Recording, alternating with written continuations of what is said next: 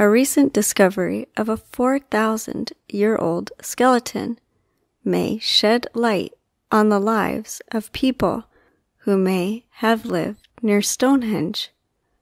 Archaeologists unearthed a skeleton of an adolescent between Stonehenge and Avebury, Europe's largest Neolithic stone circle, which is around 40 kilometers from Stonehenge.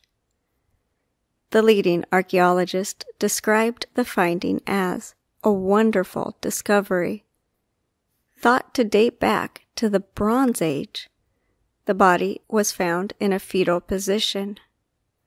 There was also an amber necklace on the skeleton. Archaeologists are trying to find out the age and the gender of the ancient ancestor.